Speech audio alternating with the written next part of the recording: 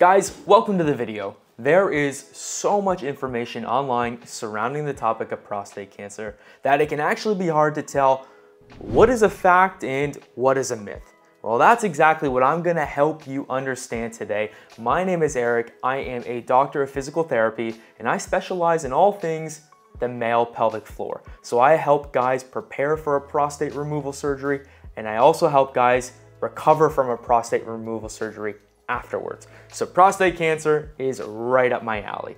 Now, what I've done today is I've taken the five most commonly asked questions on Google surrounding prostate cancer, and I'm here to set the record straight. We're gonna discuss what is a fact and what is a myth. Let's get into it. All right, question number one. You can only get checked for prostate cancer by having the old finger up the bum. So yes, a digital rectal exam, a DRE, is still common practice amongst almost all doctors and urologists worldwide. Now, it's not just about the physical exam though, because there are other tests that are used to paint the whole picture in your prostate cancer risk profile. This test that I'm talking about is your PSA.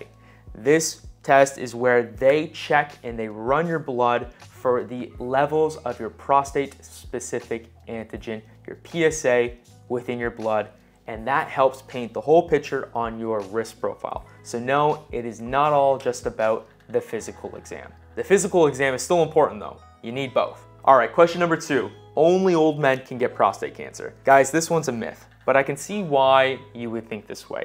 I definitely know a handful of guys over the age of 60 that have either had prostate cancer or currently have it. Now, although men over the age of 50 make up the majority of guys diagnosed with prostate cancer.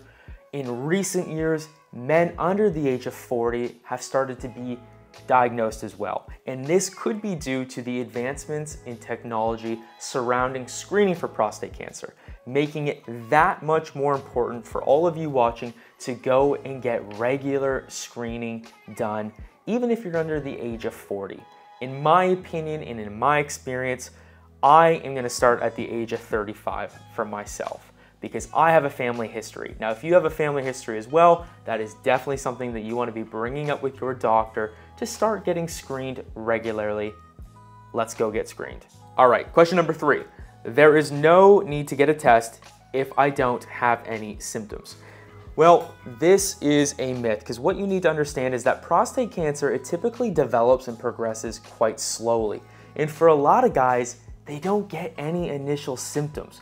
There's no red flags to say, hey, you've got prostate cancer growing inside of you.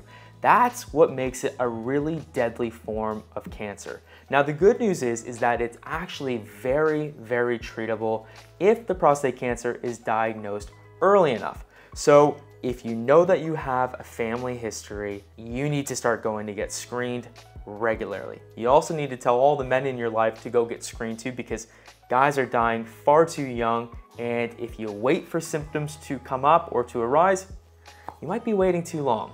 All right, question number four.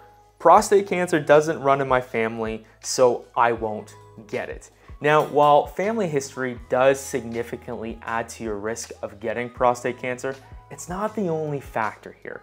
Other factors such as your age, your race, and environmental factors play a significant role in your risk profile as well. So the answer here is regular screening is the most important thing you can do regardless of family history. All right, last but not least, question number five, does sexual activity increase the risk of me getting prostate cancer? So at this point in time of filming this video, there is no clear evidence in research to support an increase in sexual activity to increasing your chances of getting prostate cancer.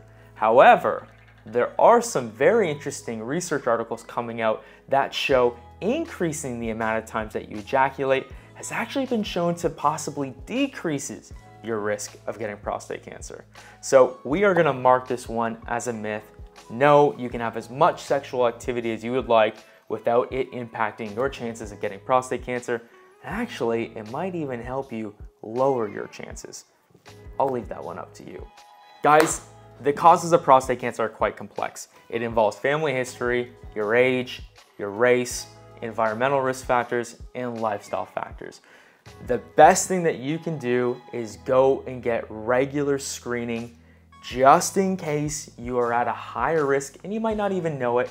The faster that you know and the sooner that you catch it, the easier it is to treat.